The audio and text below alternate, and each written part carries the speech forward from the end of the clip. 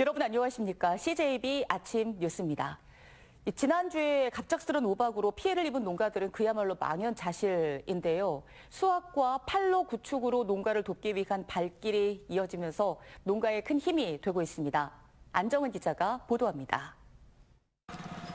단양군 단성면의 한 사과밭입니다. 얼마 전 내린 우박으로 수확을 앞둔 사과들이 찍히고 멍들었습니다.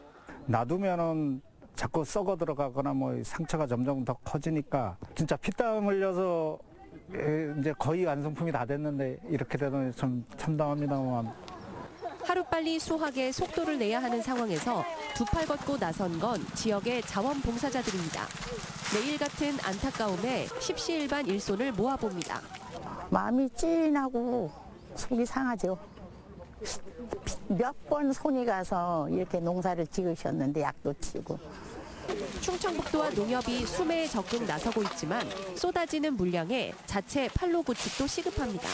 출양 군민단체 또 우리 관내의 기업체 구인사 또 자, 자매 결연 시군 어, 우리 자체적으로다가 아, 그 판매망을 넓혀가고 재난지원금 등 제도적 지원은 한정적인 상황에서 온난이 농산물 직거래에 나선 농가도 있습니다.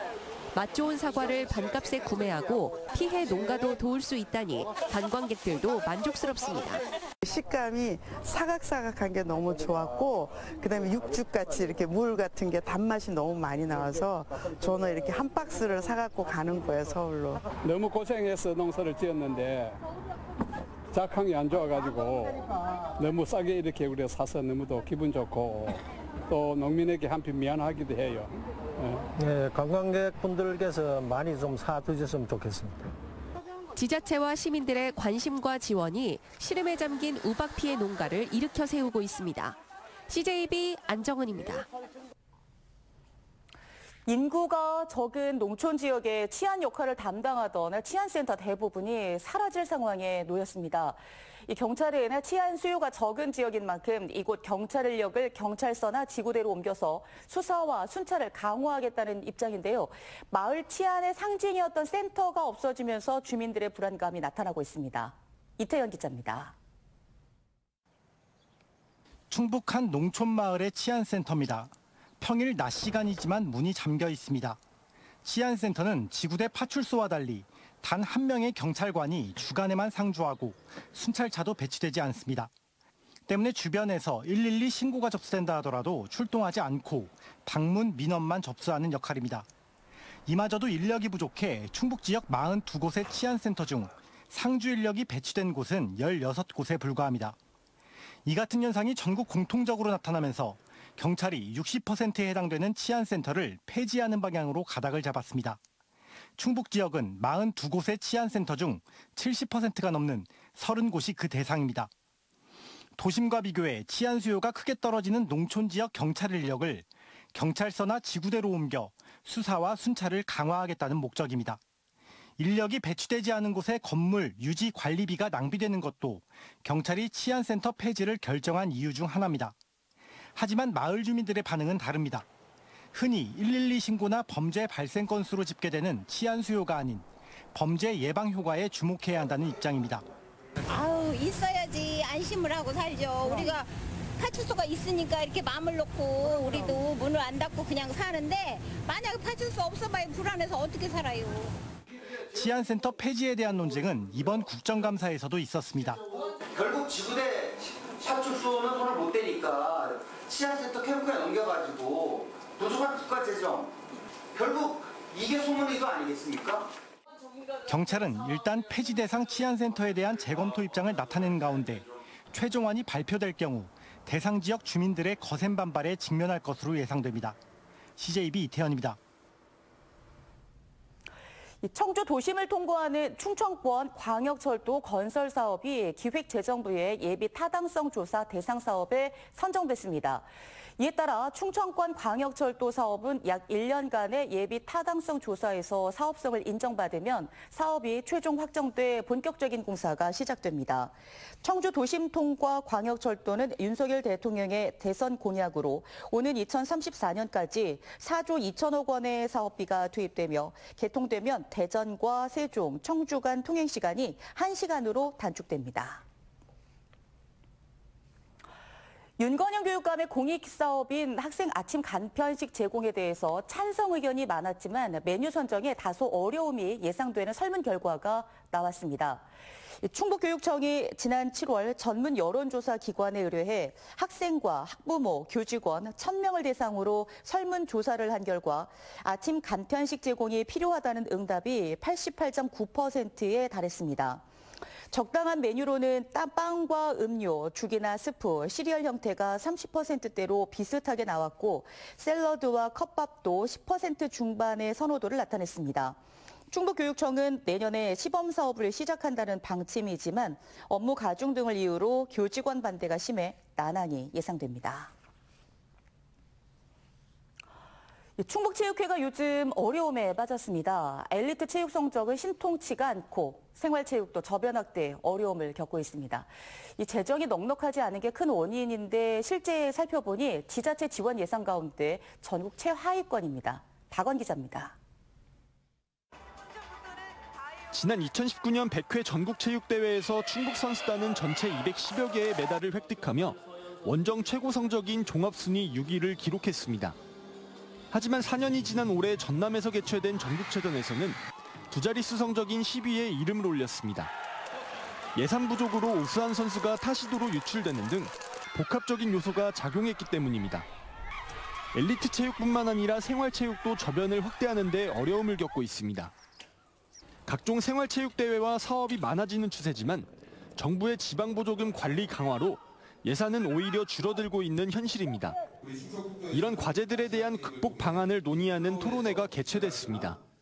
우리 충북은 어디서나 누구나 즐기는 스포츠 메카로 거듭나기 위해서 역동적인 체육 정책을 펼치고 있습니다. 우리 충청북도 의회에서도 오늘 토론회를 통해서 다양한 의견들을 수렴하고 경청해서 충북체육회가 지난해 충청북도로부터 받은 예산은 109억 원.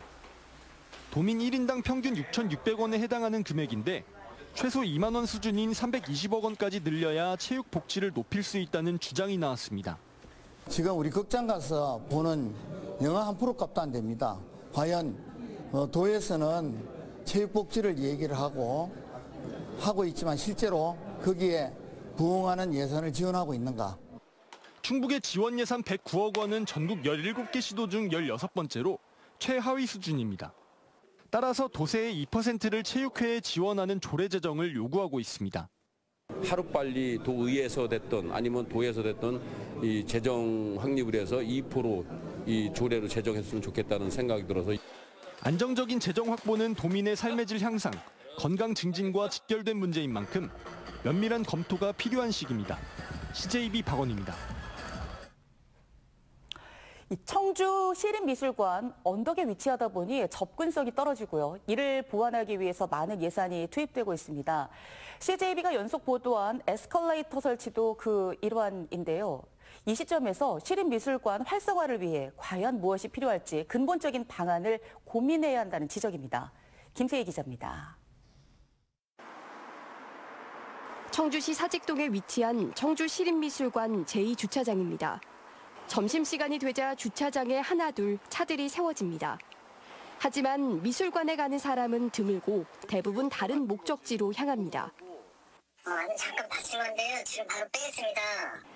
지어진 지 6년이나 지났지만 아직도 미술관 전시를 보러 온 사람조차도 이곳이 미술관으로 향하는 엘리베이터인 줄 몰랐다는 사람도 적지 않습니다. 미술관인 줄 알았는데 말씀해 주셔가지고 이게 엘리베이터 건물이고 지금 알았어요. 청주시는 지난 2017년 시민들의 접근성을 높이기 위해 20억 원을 들여 시립미술관의 주차장과 엘리베이터를 설치했습니다. 하지만 엘리베이터 설치를 전후해 관람객 수에 큰 변화는 찾아볼 수 없었습니다. 이처럼 엘리베이터 효과가 미비하다 보니 최근 부서 간 엇박자로 놀리고 있는 에스컬레이터 설치 사업 역시 우려가 커지고 있습니다. 인프라 개선보다는 미술관의 본질인 전시 내용에 충실해야 한다는 지적이 나오는 이유입니다. 앞서 국립청주박물관에서 지난 7월 열린 어느 수집과의 초대 특별전은 하루 평균 900여 명이 찾으며 전시 콘텐츠의 중요성을 보여주기도 했습니다. 이런 기존의 이건희 수입품에 대한 어떤 관심으로 인한 그런 어, 전시 그것도 보시러 오시고 그리고 또 야외에 있는 그런 석조문화재도 같이 연동돼서 같이 보실 수 있어서 좀 발길이 좀 많지 않으셨을까. 시립미술관 접근성 사업에 들어간 예산만 61억 원. 반면 올해 시립미술관 전시 홍보에 들어간 비용은 1억 6천만 원에 불과합니다. 시립미술관의 활성화를 위한 근본 해법이 무엇인지 다시 한번 고민이 필요한 시점입니다. CJB 김세희입니다. 환경을 지키는 자원 순환인 새활용이 공예의 도시 청주에서 멋진 작품으로 재탄생했습니다. 폐재원을 활용하는 시민들의 개성 있는 아이디어를 만나볼 수 있는 새활용 공예 비엔날레 현장을 다녀왔습니다. 진기훈 기자입니다. 알록달록한 색감을 뽐내는 소반의 재료는 폐 스케이트보드입니다. 스케이트보드 옆면의 형형색색 무늬를 그대로 살렸습니다. 스케이트보드를 만들고 즐기며 자연스레 쌓이는 폐 스케이트보드를 활용해보자는 생각이 근사한 공예품이 됐습니다. 스케이트보드를 타다 보면 부러지거나 뭐 깨지거나 하거든요. 어차피 딱 똑같은 나무니까 다시 쓸 수 있겠다 생각을 해서 버려지는 커피 자루와 커피 가루에 오칠을 입혀 일상에서 활용할 수 있는 그릇으로 재활용합니다.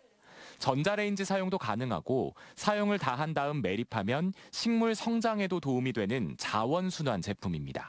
사용을 다 한 다음에도 얘가 자연으로 돌아갈 수 있는 그런 거를 좀 할 수 있는 건 없을까 이제 많은 고심 끝에 이제 저 실생활에서 우리가 활용할 수 있는 그릇을 각종 물건들을 쓸모가 없어진 뒤에도 가치 있게 오래 사용해 환경을 지키고 자원 순환을 실천하자는 의미인 재활용.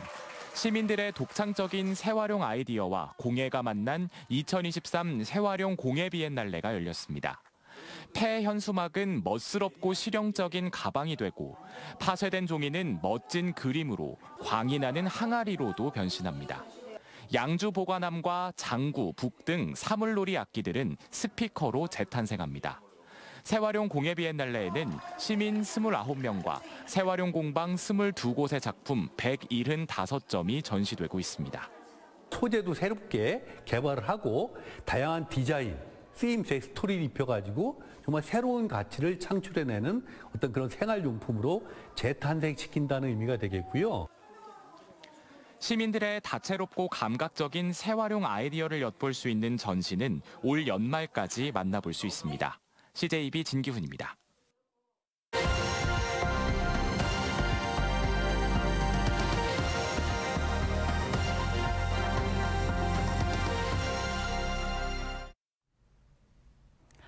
덩치가 큰 화물차나 트럭 같은 대형 차량의 경우 보행자가 보이지 않는 사각지대가 큽니다. 그렇다 보니 학교 주변에서 어린이들이 화물차에 치여 숨지는 안타까운 사고가 잇따르고 있는데요.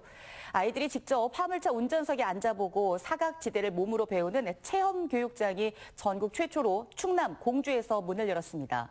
조용준 기자가 현장을 다녀왔습니다. 2년 전 당진의 한 초등학교 앞 교차로 횡단보도를 건너려던 6학년 남학생 A군이 우회전하던 25톤 덤프 트럭에 치여 숨졌습니다. 당시 트럭 운전자는 사고가 난 줄도 모르고 10m가량을 더 운행한 걸로 조사됐습니다. 운전석이 높은 버스와 트럭 등 화물차의 경우 운전석에서 보행자가 보이지 않는 사각지대가 크다 보니 이런 안타까운 사고가 끊이지 않고 있습니다. 어린이들 눈높이에서 화물차 사각지대는 어떤 모습일까? 공원 한편에 세워진 대형 화물차에 초등학생들이 한 명씩 올라탑니다. 운전석에 앉아 주위에 서 있는 14명의 친구들을 찾아보지만 눈에 보이는 건두 명뿐입니다. 거울로 몇 명 보여요? 한 명. 옆에 앞에 거울 보면 어때요? 음, 두명 보이는 거. 앞에 몇 명 있는지 안 보여요. 키가 큰 성인이 운전석에 타도 상황은 비슷합니다. 제가 좌우를 모두 둘러봐도 앞거울에 비치는 4명의 아이들을 제외하고는 모두 눈에 보이지 않습니다. 나머지 10명가량의 아이들은 모두 사각지대에 놓인 겁니다. 한국교통안전공단이 충남자치경찰위원회 등과 함께 전국 최초로 화물차 사각지대를 체험할 수 있는 교육장을 열었습니다.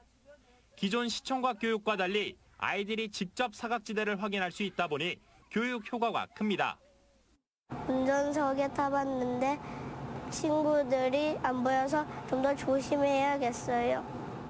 실제로 선진국 등에선 교통사고 예방을 위해 화물차 사각지대 교육 이수를 의무화하고 있습니다.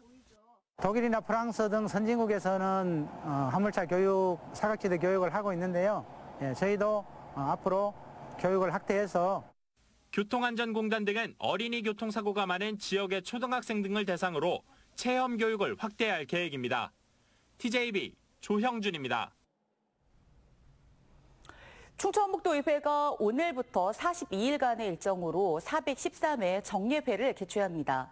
오늘 1차 본회의에서는 충청북도와 충북교육청의 올해 3차 추경 예산안에 대한 제안 설명과 함께 김정일 의원이 교육복지사 확충과 학교 폭력 예방에 관련된 대집행 대집행기관 질문을 벌입니다. 내일부터는 각 상임위별로 행정사무감사가 시작되고 27일에 김영환 지사와 윤건영 교육감의 내년도 예산안 시정연설이 예정돼 있습니다. 이번 정례회에는 예산안을 비롯해 17개 안건이 회부돼 있습니다. 충청북도가 내년도 정부 예산안에서 미반영된 사업의 국회 증액 활동에 본격 나섰습니다. 도가 선정한 주요 증액 대상은 정부 예산안에서 한 푼도 반영이 안 된 카이스트 부설 AI 영재고 262억 원과 다목적 방사광 가속기 구축 사업비 220억 원, 중부 고속도로 서청주에서 증평 구간 확장 375억 원, 청주공항 주기장 확충비 100억 원 등 11개 사업입니다. 도는 지역 국회의원과 여야 예결위원 등을 방문해 사업의 필요성을 설명하고 증액을 요청하고 있습니다. 한희준 작가를 비롯해 10명의 한국, 호주 작가로 구성된 한국, 호주 국제사진전이 예술 곳간에서 개막했습니다. 이번 전시는 현상과 탐색을 주제로 인류가 직면하고 있는 기후와 역사의 상처, 인간의 욕망에 대한 당론을 각기 다른 은유를 통해 작품에 담아냈으며 오늘 16일까지 계속됩니다. CJB 아침 뉴스를 마칩니다. 고맙습니다.